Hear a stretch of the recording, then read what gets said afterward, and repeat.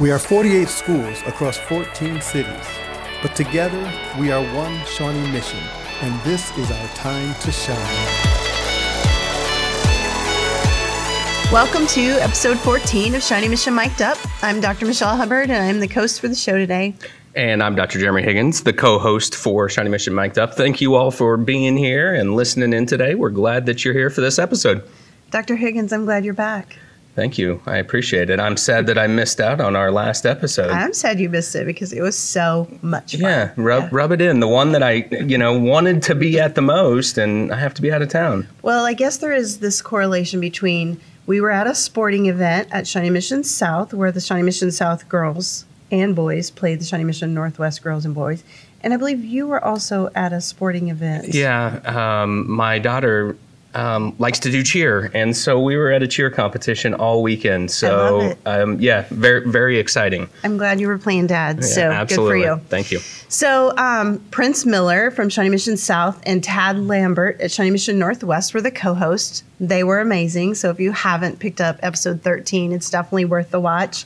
And then in addition to that, we had three student reporters that went into the gym and interviewed kids as they were um, just doing what they do and parents and coaches and so we have a variety of people that talked about what high school sports mean and just the environment that it creates when you have these amazing basketball teams. But also thanks to charlie patrick and tyler who supported us doing that. You know it's it's fun to um, be able to provide a little bit of a glimpse into those high school sporting activities because they do uh, play such a big part in the experience uh, for our high school students um, and I know that that was a really good game, two really good teams. Environment yeah. was fantastic. So, uh, what a great way to, to showcase that for, for our listeners.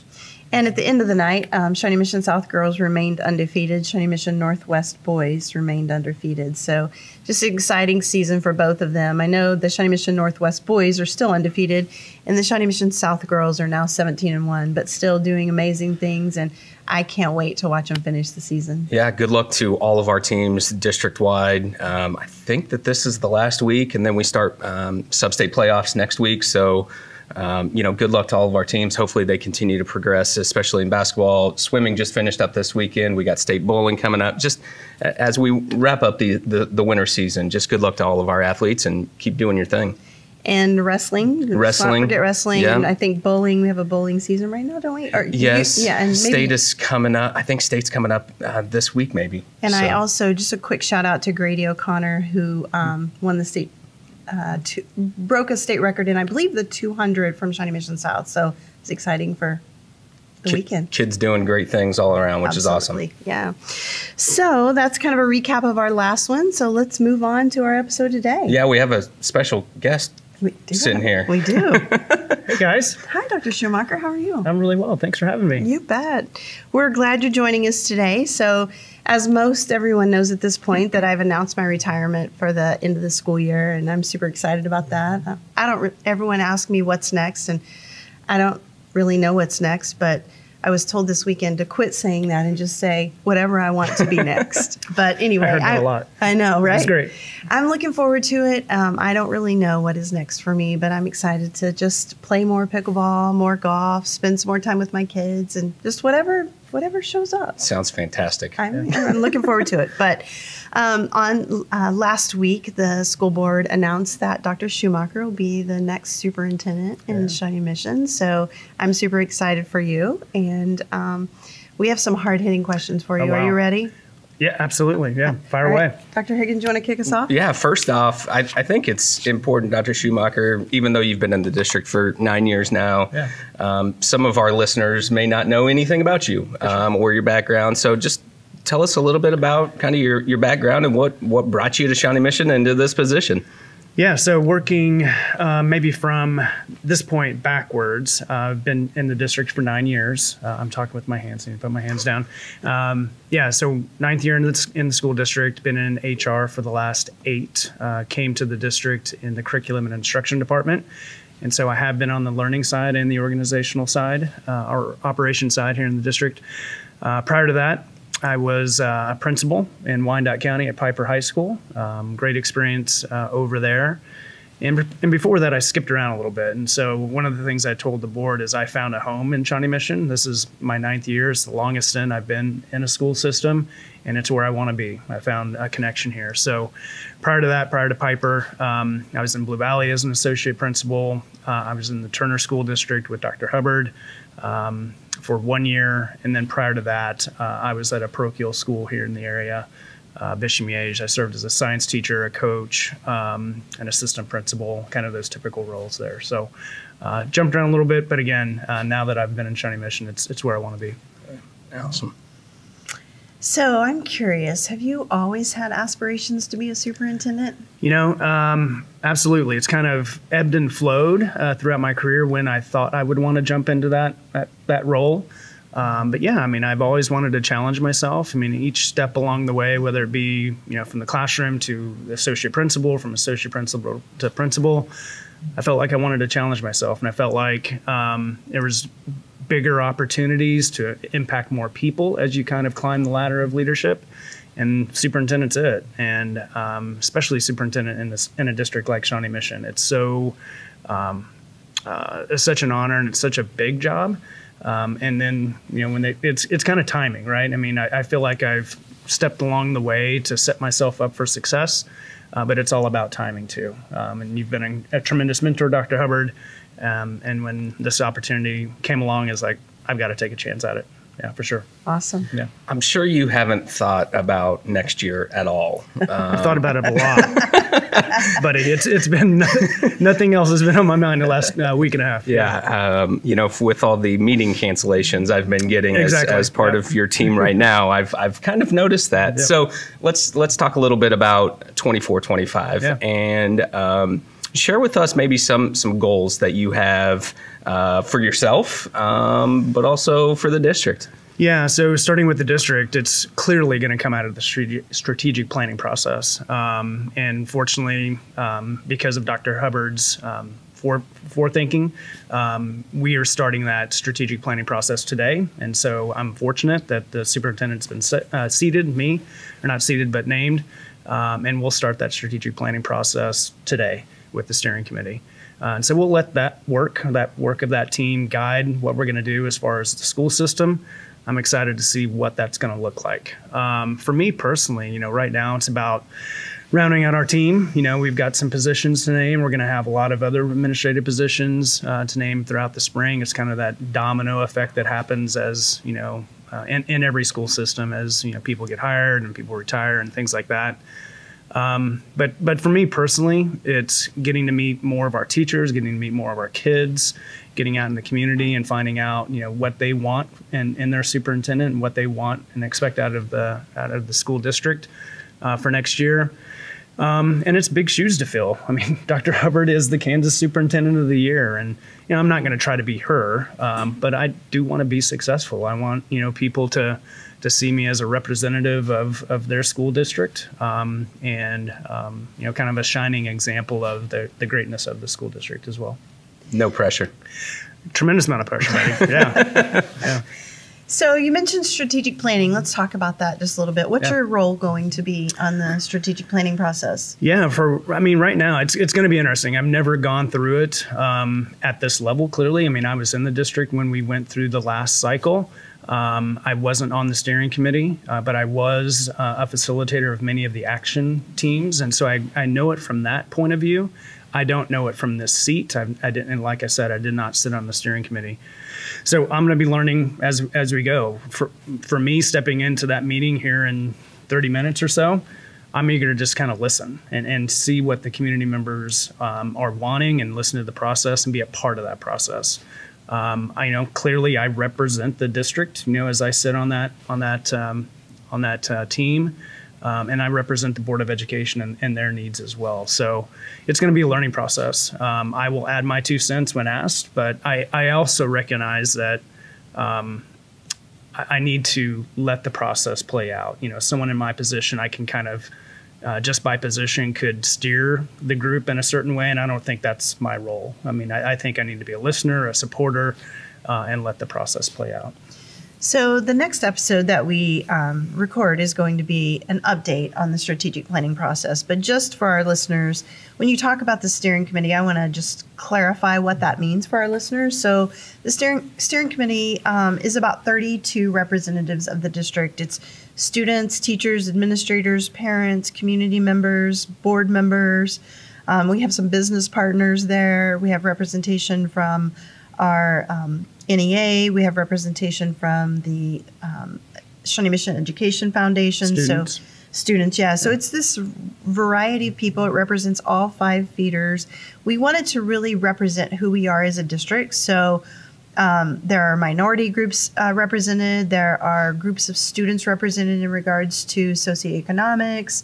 Um, we just try to have that really we want it to look like the school district and so those 32 um, people as dr schumacher um, mentioned kick off um, today which is tuesday and wednesday and then this episode's dropping thursday morning actually and so by then the steering committee will have completed um, their work Yeah. to land us with four to six um, action Right. teams that we will be building moving forward so we'll talk more about that in the next episode but um, I'm glad that we had the conversation about the strategic Yeah, planning sure. committee for Yeah. sure.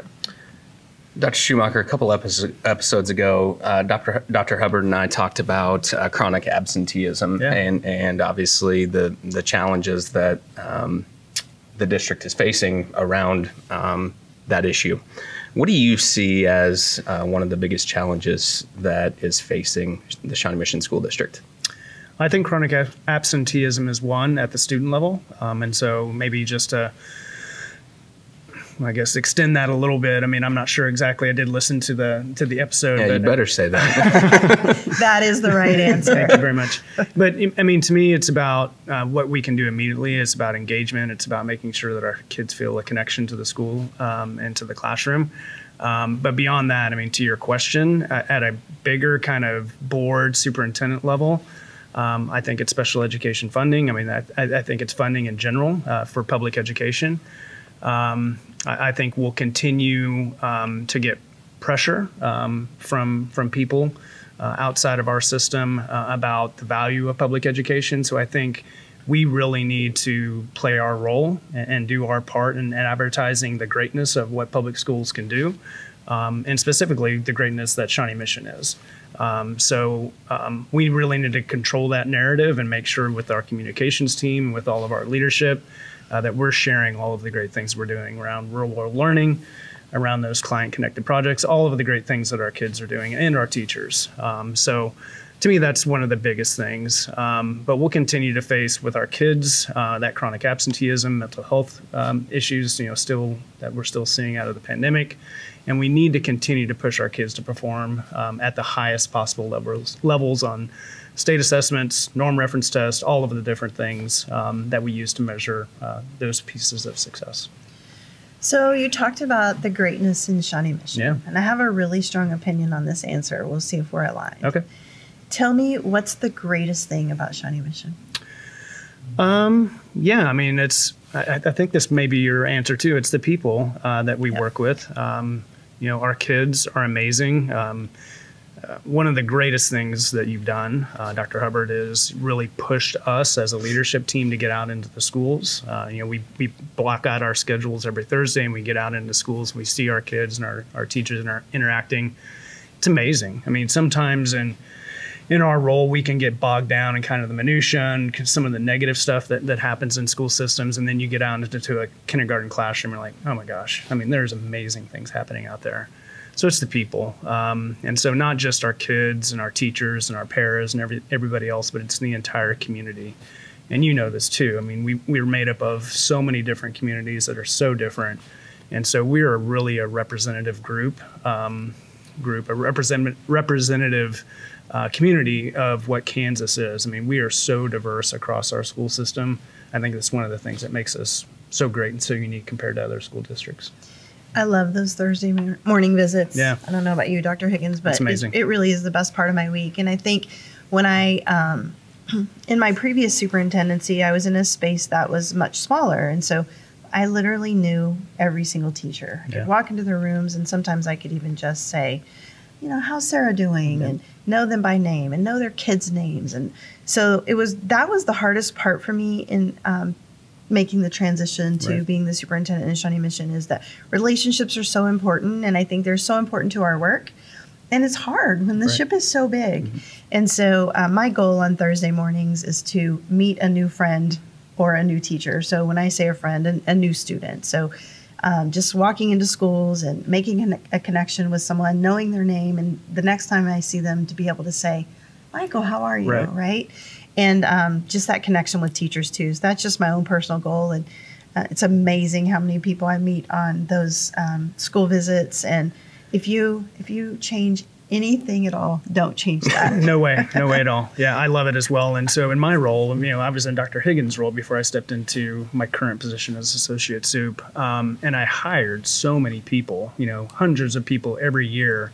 And so I get out there and. and unfortunately, I've sometimes I've forgotten some of the folks, you know, that, that I've hired, and then I see them and I, oh, absolutely, and so we make that connection again, and so it's great. Absolutely, we're going to continue that that practice. awesome. Yep. Dr. Schumacher, uh, talk with us a little bit about what students and teachers can expect from you. yeah, somebody who's connected. You know, um, I'm I'm really excited for people to find out who I am, kind of outside of my current role. Um, you know, I mean, in, in our role in, in um, HR, sometimes we have to be a little.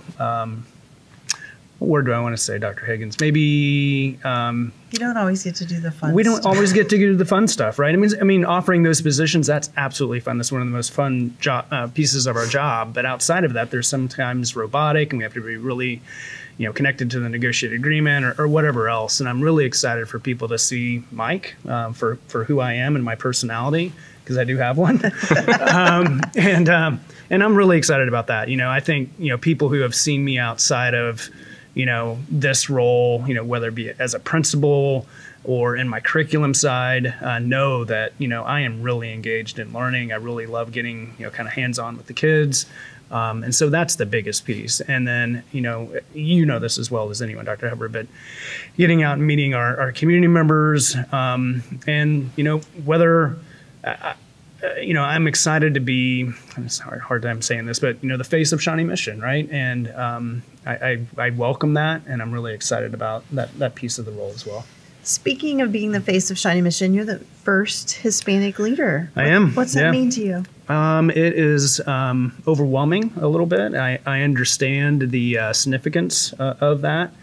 Um, yeah, I mean, one of the um, one of the things that, that I recognize is the fact that we track our our demographics uh, in HR, uh, and we we understand that our largest minority student group are Hispanic or, or Latinx, and for them to see, you know, their their superintendent uh, you know, looking like them, I think that's that's powerful.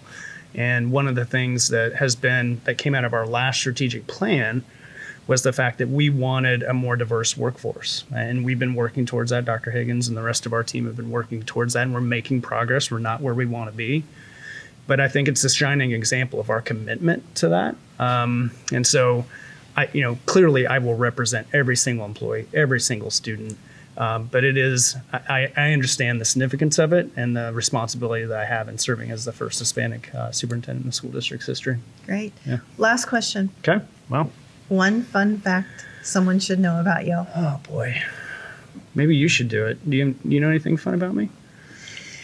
I don't. I, I don't. I don't call this fun because I only run if a dog is chasing me.